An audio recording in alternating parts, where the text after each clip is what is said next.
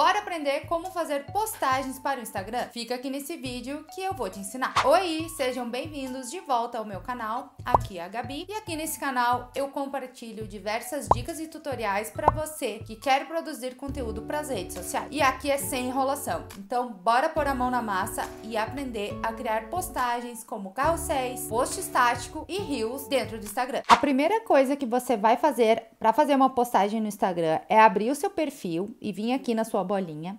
Aqui nessa parte, você vai clicar nesse mais aqui em cima no canto superior direito. Aqui nesse mais, você vai poder escolher o formato da publicação que você quer fazer. Seja um reel, que é aqueles vídeos de até 90 segundos que a gente consegue fazer aqui no Instagram.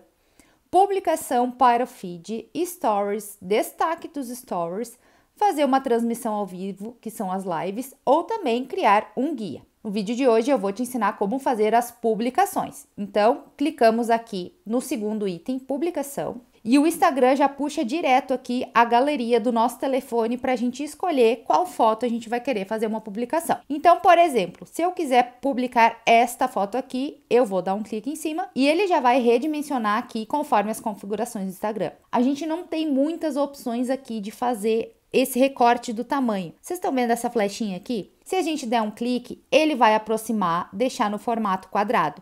Se a gente der um, um, outro clique, ele vai distanciar e deixar a imagem mais vertical. Essas são as únicas formas que a gente consegue editar o tamanho da publicação. Se for só um post estático, você seleciona a foto que você quer e depois vem aqui em avançar. Nessa parte aqui, a gente consegue, aqui nessa varetinha com duas estrelinhas, é a correção automática aqui do Instagram. Então ele faz uma edição na sua imagem e aqui nessa bolinha você pode ajustar a intensidade dessa correção que ele ele coloca. É mais um efeito de luz que ele dá. Então, se você acha que fica bacana aqui na sua postagem, você configura conforme o seu gosto pessoal. Depois disso, clique em concluir ou cancelar se você quiser desfazer essa edição aqui. Cliquei em concluir, Aqui embaixo a gente tem vários filtros que o Instagram disponibiliza. A gente pode escolher algum desses, se for o caso também. E se escolher um filtro por exemplo, este aqui, você ainda pode editar esse filtro. E aqui embaixo, o Instagram disponibiliza vários filtros prontos com algumas edições diretas para nossa foto, sem a gente precisar editar manualmente. Então aqui a gente escolhe, por exemplo, um filtro e depois clica em avançar. Se você mesmo quiser fazer uma edição mais detalhada aqui na nossa foto, você clica aqui no botão de editar e vão abrir todas essas configurações aqui. E aí você vai mexendo conforme você ache necessário aqui na sua edição. Você pode realçar alguns pontos, você pode mudar na saturação, deixando preto e branco ou deixando mais vivas as cores, enfim. Dá para brincar bastante aqui nessas ferramentas de edição do próprio Instagram. Legal aqui que apareceu uma nova opção de edição aqui no publicar, que é essa nota musical. O que, que isso significa? Que você consegue adicionar música na sua postagem. Então, se clicar ali na nota musical, vai abrir aqui a galeria de música do Instagram. Você pode escolher qualquer uma das músicas aqui. Para ouvir ela, você clica aqui no play e depois para selecionar a música que você gostar, você clica em cima da música. Nessa parte aqui, você consegue ajustar o trecho da música arrastando para os lados aqui nesse retângulo branco. Aqui nesse botão você consegue ajustar quantos segundos você quer que aquela música fique na sua foto, de 5 até 90 segundos. Depois clique em concluir e depois concluir de novo. Depois de selecionado a música, feitas as configurações aqui, se for edição ou filtro, você clica em avançar. Aqui nessa parte, você vai escrever a sua legenda aqui nesse campo. É só dar um clique ali em cima e você escreve a legenda, consegue colocar emojis, enfim. Aqui você tem o espaço para escrever toda a sua legenda. Nessa parte aqui também você consegue marcar pessoas na sua publicação. É só dar um toque em cima da foto e marcar as pessoas. O próximo item é adicionar um lembrete. Então, se você está publicando alguma coisa em relação a algum evento que você vai promover no seu perfil, seja uma live, seja um evento presencial, você pode colocar aqui o nome do lembrete e o horário de início. O próximo ponto é adicionar a localização, se você quiser. Aqui está selecionada a música que vai ser publicada junto com o nosso post post. Se você quiser tirar, é só clicar aqui no xizinho. E aqui embaixo a Turbinar Publicação é para você patrocinar. Eu vou trazer um vídeo explicando tudo sobre turbinar publicações aqui no Instagram. Aqui embaixo você vincula a sua publicação a alguma página que você administre aqui na sua conta do Instagram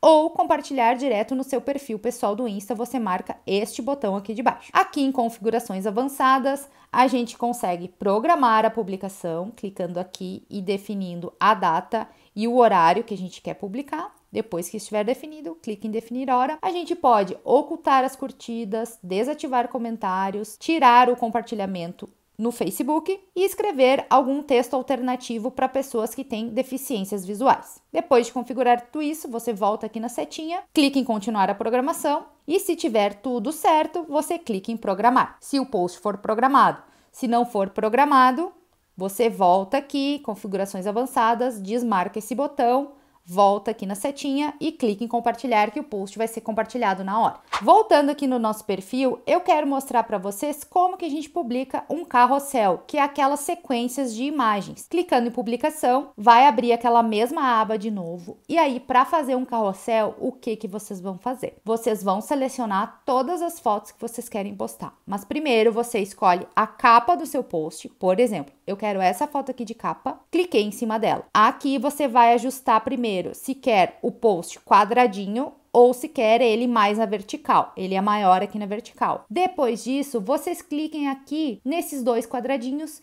que vai abrir a opção de selecionar mais imagens. E aí você seleciona dentro da sua galeria as demais imagens que você quer postar naquele mesmo carrossel, nessa sequência de imagens. Você consegue postar até 10 imagens em um mesmo carrossel e consegue compartilhar também vídeos no meio desse carrossel. Então não precisa ser só imagens fixas e estáticas. Depois de selecionar tudo, vou colocar as 10 aqui, você clica na opção de avançar. Aqui no avançar, você consegue fazer toda aquela edição através de filtros que eu mostrei antes. Aqui você arrasta para ver toda a sequência de fotos que você selecionou. Se você quiser editar uma foto em específico, você clica aqui nesses dois pontinhos e aí vai abrir toda a opção de editar que eu já mostrei para vocês antes. Depois de editar, escolher algum filtro, você clica em concluir. Este botão aqui permite que você desative o áudio dos vídeos que você colocou nesse carrossel, se você quiser. Depois disso, é só clicar em avançar e aqui é praticamente igual à parte anterior. Você vai escrever a legenda,